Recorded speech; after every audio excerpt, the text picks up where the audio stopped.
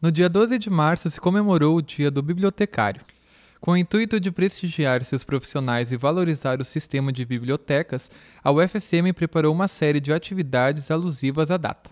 O Dia do Bibliotecário ele foi instituído na década de 80 para comemorar o nascimento de Murilo Tigre, né, que foi um poeta e o primeiro bibliotecário concursado do Brasil. Então, é, ele trouxe técnicas lá dos Estados Unidos, né, na época ele conheceu o Melvin Dewey, que é um dos profissionais mais renomados da nossa área, e é, essa data, ela, no caso, ela movimenta várias universidades no, no Brasil e no país. E a gente está trazendo aqui para o UFSM no sentido de nos mostrar, né, de dar visibilidade ao nosso sistema de bibliotecas, que é parte fundamental aqui no cotidiano né, dos estudantes e dos usuários. A programação se iniciou com uma palestra sobre a Agenda 2030 da ONU, medida criada para o desenvolvimento do mundo em diversos âmbitos, inclusive na literatura. As bibliotecas foram um dos principais pontos debatidos, pois é através delas que milhares de pessoas têm acesso à leitura. Os bibliotecários já trabalham muito em várias frentes. Por exemplo, eles já proporcionam acesso à informação, eles já trabalham em diversas áreas, inclusive os bibliotecários universitários, por exemplo, da FSM, estão em diversas áreas.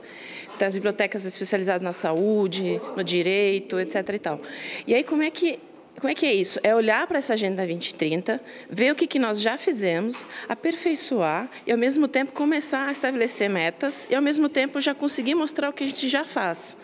Que é isso também, que muitas vezes a gente já tem uma ação, mas ela ainda não foi colocada no sentido assim, visualizada de que ela pode estar num compromisso maior, junto, ao, por exemplo, uma Agenda 2030 da ONU.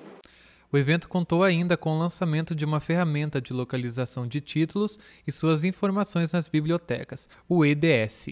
É uma ferramenta que busca em todas as coleções, por exemplo, tu tem uma coleção de teses e dissertações, tu tem a coleção de livros, tu tem coleções de folhetos, periódicos, e, tu, e, e essa ferramenta ela consegue passar e pegar todas as informações de todas elas numa só. Então, tu extrai todas as informações num mecanismo de busca apenas, depois tu apenas tem que fazer o filtro posterior para conseguir identificar o que tu precisa. Mas assim ele varre uma gama maior de acervos e traz um resultado mais volumoso. A relevância depois tu tem que fazer esse filtro posterior para identificar direitinho se é o que tu precisa.